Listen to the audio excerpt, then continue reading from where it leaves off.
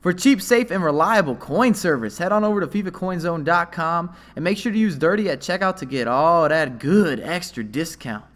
What's happening, beautiful people? My name is Dirty Mike, and welcome to the Futties. Woo! We've got Inform pink cards coming to Ultimate Team in just about a week or so, and I'm excited. You get to vote, something the FIFA community can kind of dictate. I encourage you to do so. I'll leave links in the description.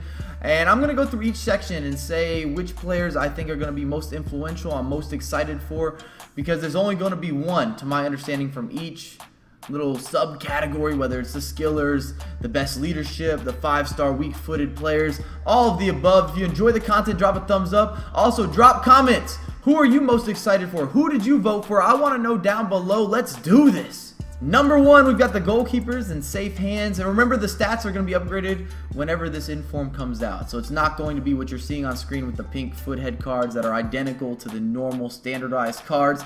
And I'm easily most excited for Leno. I've actually been falling in love with this goalkeeper more and more throughout the year. And if he went up to an 84 or an 85, I think it might be game changing. He might challenge uh, Neuer for the top goalkeeper in the Bundesliga. Two for tackles, and it's going to be a no-brainer with Yaya Toure. You've seen a man of the match in informs, but who else would you really vote for? They're all CDM players that aren't necessarily complete, and then you have someone like Yaya who can do everything on the pitch. So give me a pink Yaya. I'd love to add him into my club. Skilling and killing, and I think this is a heavy debatable. I would like to see Chikawi.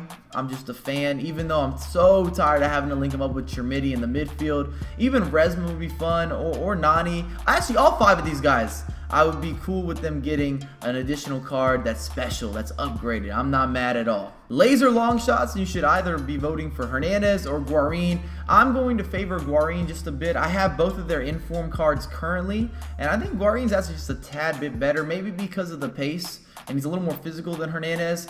But if you go either way on that, I'm not mad at you. Number five, we've got the guys that have the aerial threats. Ugh.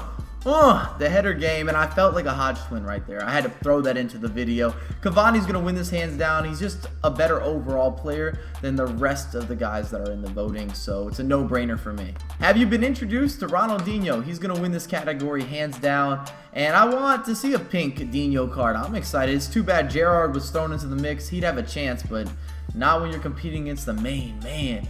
Mr. Barcelona, I think we all remember those two or three years where Ronaldinho was untouchable. He's just such a pure class and, and brilliance. He was innovating the game in ways we hadn't seen before. So I'm, I'm looking forward to his pink card. I hope they give him better stamina because he gets tired. Oh my goodness, does he get tired in FIFA? Hey, squeezing and pleasing with that five-star weak foot. And I've mentioned this prior, but when I'm out and about, I have thrown this line out there with the ladies across Houston. I'm just confusing everyone.